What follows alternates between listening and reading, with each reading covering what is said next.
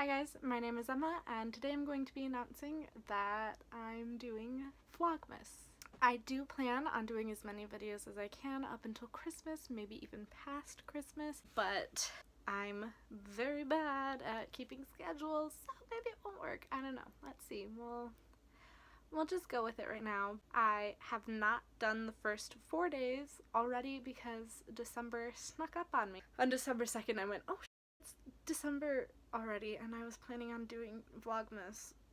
Oops. Then I had to come up with a list of videos that I was gonna make and it's just, I still don't have a huge list so we'll see how good I actually am at staying on this. Yeah, so this is my video for yesterday is basically what's happening now. The only reason that I'm filming this right now is because I wanted to make up for a day that I've already missed. So this video is going to be uploaded today, plus another video today, hopefully, if it goes as planned.